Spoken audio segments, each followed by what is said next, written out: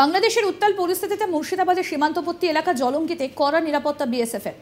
সীমান্তবর্তী এলাকায় বিএসএফ এর নজরদারি বাড়ানো হয়েছে বলে জানা যাচ্ছে। পদ্মা নদীতে স্পিড বোটে নজরদারি চালাচ্ছে বিএসএফ। মঙ্গলবার সকাল থেকে স্থানীয় চাষিদের নদী পেরিয়ে চাষ করতে যাওয়ার বিষয়ে বাড়তি নজরদারি শুরু করেছে বর্ডার সিকিউরিটি ফোর্স। তবে অনুপ্রবেশকারীদের চিন্তা থাকলেও ভয়ের কিছু নেই বলেই দাবি করছেন স্থানীয় বাসিন্দারা। পাশাপাশি স্থানীয় মানুষের সঙ্গে সম্পর্ক রেখে নিজেদের দায়িত্ব সামলাচ্ছেন বিএসএফ জওয়ানরা বলে খবর। স্থানীয় বাসিন্দা কি বলছেন? শুনব।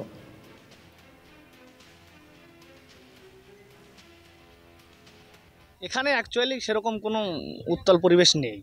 যেটা ভাবা যাচ্ছে সেরকম কিছু না। এখন পর্যন্ত কোনো ইনসিডেন্ট এখানে ঘটেনি বা ওখানকার কোনো লোক এদিক দিয়ে আসার চেষ্টা করেনি। সেরকম কোনো পরিস্থিতি না। যতটা কেমন করা না বিএসএফ এর স্ট্রিক ডিউটি একটু হবে যেহেতু একটা ফরেন কান্ট্রিতে তক্তা পাল্টে গেছে সে কারণে হবে একটু সেটা কোনো বিষয় না। হ্যাঁ চাষিদের কোনো সমস্যা নেই। কিন্তু হ্যাঁ ডিউটিটা একটু স্ট্রিক হবে কারণ একটা পরবর্তী প্রতিবেশী একটা বন্ধুত্বপূর্ণ রাষ্ট্র সেখানে সেখানে একটা একটা তার কাটাও নেই। হ্যাঁ? দিয়ে না এখানে তার কাটা নেই এখানে বন্ধুত্বপূর্ণ বর্ডার আছে। কি ভয় কি লাগছে? না এখানে ভয়ের কোনো কারণ নেই। বিএসএফ স্টিক হ্যাঁ স্ট্রিক আছে। আগের তুলনায় বেড়েছে ডিউটি হ্যাঁ একটু ডিউটিটা একটু স্ট্রিক হচ্ছে কারণ যে কোনো মুহূর্তে কিছু হতেই পারে বলা যায় না কোনো সময় ওখান থেকে কোনো আসতে পারে কোনো শরণার্থী সেক্ষেত্রে বিএসএফ এর তৎপরতা আছে। আমাদের প্রতিনিধি গোপাল ঠাকুর কি প্রতিবেদন তুলে ধরেছেন? শুনব এবার।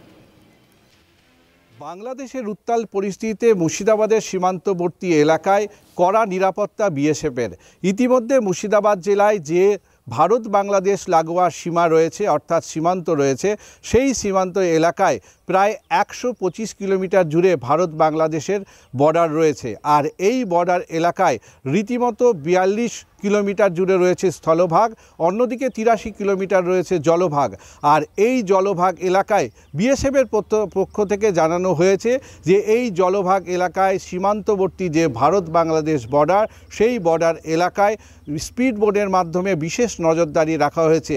ইতিমধ্যেই বিএসএফ আরও জানিয়েছেন যে, যেদিন থেকে বাংলাদেশ এই রাজনৈতিকভাবে অশান্তির পরি, পরিবেশ তৈরি হয়েছে, সেদিন থেকেই বিএসএফ বর্ডারে বাড়তি হাই অ্যালার্ট জারি করেছে।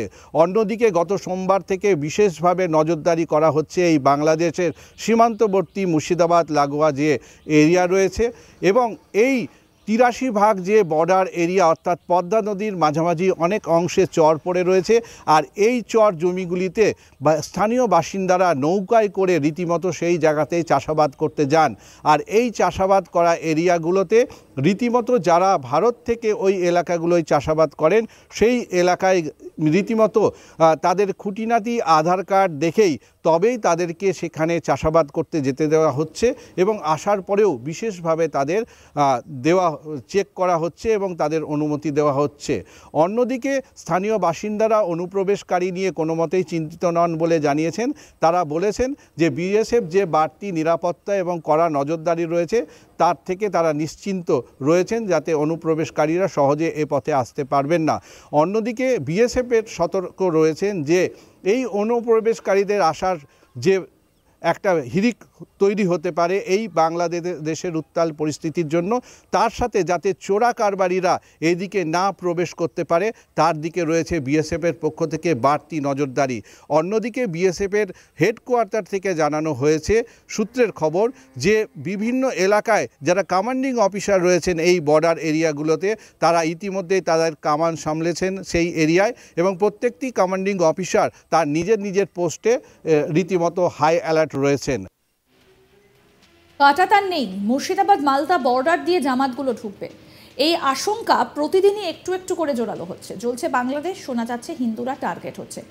এই পরিস্থিতিতে হবিবপুরের বিজেপি বিধায়ক জুয়েল মর্ম বলেন, বাংলাদেশে জামাতরা যা করছে, আমার বিধানসভা মুর্শিদাবাদ এবং মালদার বর্ডারের বিরাট অংশে কাটাতার নেই যেখানে, সেখান থেকে যে কোনো মুহূর্তে জামাতরা ঢুকে যেতে পারে আমাদের দেশে। তাই আমি আশঙ্কা প্রকাশ করছি এবং কেন্দ্রীয় সরকারকে বিষয়টা ইতিমধ্যেই জানিয়েছি। কি বলেছেন বিজেপি বিধায়ক জুয়েল মুর্মু? শুনব।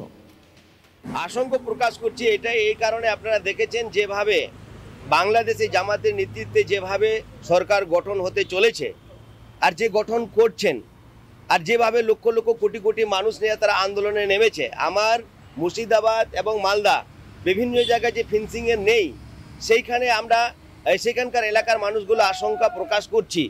খুব ভয়ের ভিত্তিতে আমরা ভয় মানে কি বলব? সেখানে মানুষজন খুব ভয়ের মধ্যে দিয়ে রয়েছেন যে কি হতে পারে। যদি সেই রকম যদি হয়ে যায়, যে কোনো প্রকারে কোনো কিছু ঘটতে পারে।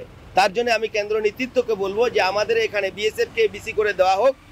সেখানে যেখানে যেখানে ফেন্সিং নেই, তারা বাংলাদেশিরা সেখান থেকে কোনো আক্রমণ, ভারতবর্ষকে আক্রমণ যেন না করতে পারে, আমাদের যে মালদা মুর্শিদাবাদকে আক্রমণ যেন না করতে পারে, তার জন্য আমি আশঙ্কা প্রকাশ করছি, আমি কেন্দ্র নেতৃত্বকে জানাব। বর্ডারে সিকিউরিটি থাকার পরেও কি করবে? আপনি এইখানে আপনার একশো মিটারের দূরে একজন আছেন, আর একশো মিটারের একজন দূরে আছেন, ফাঁকা ফাঁকা রয়েছেন। সেখানে তো ফিনিশিং নেই, সেখানে তো তারের ঘেরা নেই, সেখানে তো পুরো ফাঁকা রয়েছেন। সেখানকার মানুষগুলো কি হবে? রাত্রে অন্ধকারে তারা আমাদের যারা বর্ডারের মানুষজন যারা তো রাত্রে ঘুমিয়ে থাকবে তারা কি করে বলতে পারে যে এত লক্ষ লোক যদি আসে রাত্রের মধ্যে কি হবে? সেখানে তার জন্য আমি কেন্দ্র নেতৃত্বকে বলব সেখানে বিএসএফকে বেশি করে মোতায়েন করা হোক তার জন্য আমরা শান্তিতে থাকতে পারি। শুধুমাত্র বাংলাদেশে আছে ভারতে ঢুকে বলছেন। দেখুন ওরা ভারতে আপনারা দেখেছেন বিভিন্ন রকমের গুরু পাচার থেকে শুরু করে বিভিন্ন রকমের যে পাচার থেকে আপনারা দেখেছেন তিনি ওদের যে যারা আছেন, আপনারা দেখেছেন যে এখান থেকে যদি চুরি করে না নিয়ে যেতে পারে, তাহলে তো বাংলাদেশ বাঁচবে না। আপনারা দেখেছেন যে আপনারা বহু কিছু দেখেছেন, সবাই মানুষ দেখেছে। এখন যদি সেরকম পরিস্থিতি যদি হয়, তাহলে তো সরাসরি আসতে, আসবে। তখন কি করব আমরা? প্রসঙ্গত বলি, ভারত বাংলাদেশ সীমান্তে চরম সতর্কতা, অনুপ্রবেশ আটকাতে কড়া পাহারা দেওয়া চলছে। বাংলাদেশ থেকে এপারে চিকিৎসা করাতে আসছেন প্রচুর মানুষ। ভালো করে পরীক্ষা নিরীক্ষা করে তবেই প্রবেশ করতে দেওয়া হচ্ছে।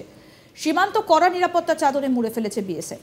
তার মধ্যেই ভারতে জালি পরিচয়পত্র হাতে বাংলাদেশ থেকে ভারতে প্রবেশের চেষ্টা। উদ্ধার হয়েছে জাল প্যান এবং আধার কার্ড। কুড়ি হাজার টাকার বিনিময়ে জাল ভারতীয় পরিচয় বানিয়েছিলেন বলে জানান অভিযুক্ত।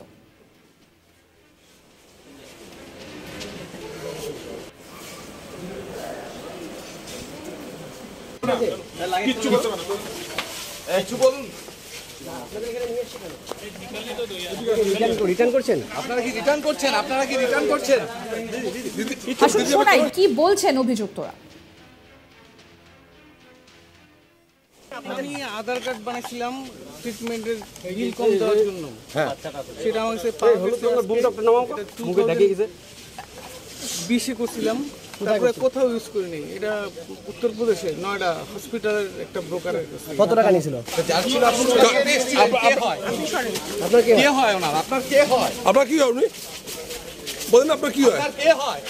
বলেন আপনার কি হয়? আপনারা কি সেখানে কোনো আওয়ামী লীগ তো বলে দিয়েছে। বলেন কি সংগঠন করেন। নাকি দেখছেন আপনারা? অসুস্থ মানুষ দেখতে থাকুন আজ তাক বাংলার ইউটিউব চ্যানেল সাবস্ক্রাইব করুন।